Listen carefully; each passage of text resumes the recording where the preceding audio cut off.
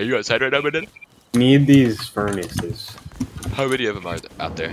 We'll have to make another trip. There's a lot of. Oh, Dude, this is. Can I open the front door? no.